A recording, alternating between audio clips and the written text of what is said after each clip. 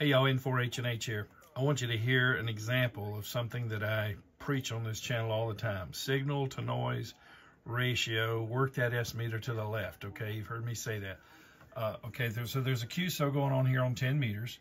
10 meters been great lately. It's not as good today, but there's a good QSO going on. This gentleman here is on the west coast. If you're working in the Netherlands, you can work anywhere. Now listen to the other station. There's somebody in there. Now watch.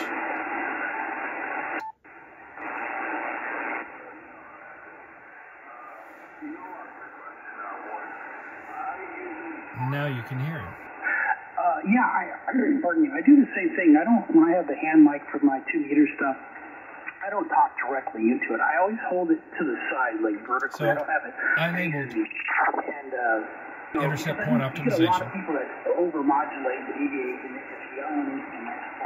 So that is the station in California.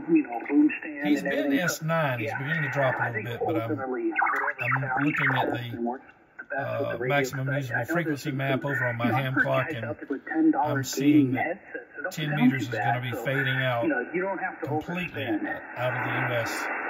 soon. Let me show you. There's the maximum usable frequency map.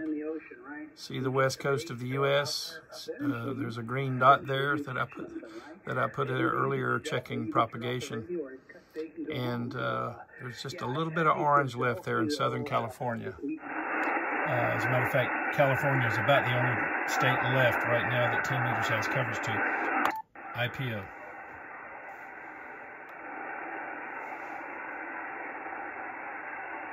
Oh yeah, no, actually I'm on a Heil, uh, his uh, Bob Heil's uh, PR40, uh, and uh, it's uh, I think it's a broadcast mic. I'm not quite 100 percent sure, but I've had this mic for five six years, and uh, Yeah, they're I ran out now. I may, I may be losing coverage. Um, the Yaesus, uh, all the way around, and it, and, uh, you know, I made it up to the.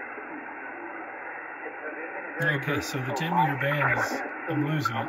I'm glad I got that in there when I did, but you got to hear what I was talking about. I actually turned off AMP 1, enabled intercept point optimization, IPO, which lowers the sensitivity of the receiver.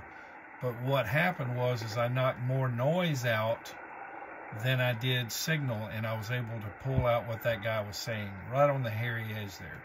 So um, that just gave me a quick opportunity to show you, you know, you know, you know me on this channel. I try to keep it real. I try to show you real world conditions. So uh, now he's this guy's coming back up a little bit. The band's playing a little trick, but I guarantee you that's about to go. He was S9 five minutes ago, right before I grabbed the camera, as a matter of fact. Um, and I mean, he was S9 when I was using AMP1. So let me go back to AMP1. Yeah, see, he's even dropped now to S4, S5. So we're losing the band. I'll try another antenna right quick. That's my doublet. Now, see, it's my best antenna to the west coast. But you got to see what I wanted you to see. Work that S meter to the left. Use that intercept point optimization. That is your first line of defense to improve signal to noise ratio.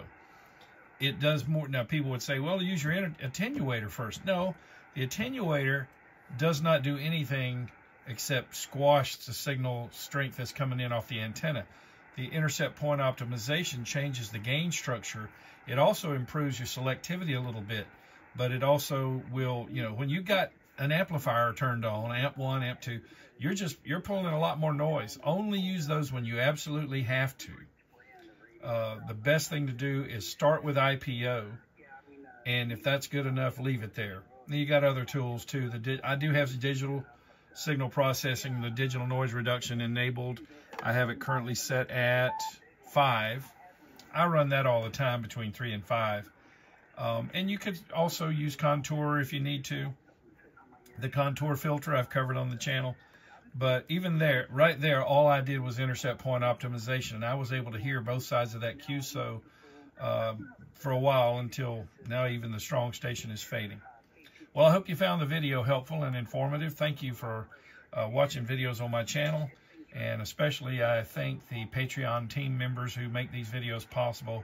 Uh, to operate a channel like this with no advertisers, uh, no financial support other than private support, uh, well, I wouldn't be able to do this. So if you would, please hang around for another half uh, minute. I want to recognize five of the what I call the Patreon team long haulers. These are people that have supported this channel for a year, two, and even three now. Uh, without them, you wouldn't be watching this video or some other around 450 other videos. And I think I'm over up to over 600 uh, on the channel now across 50 plus playlists. So if you haven't checked out all the other playlists, you're missing out. 73 from N4 HNH.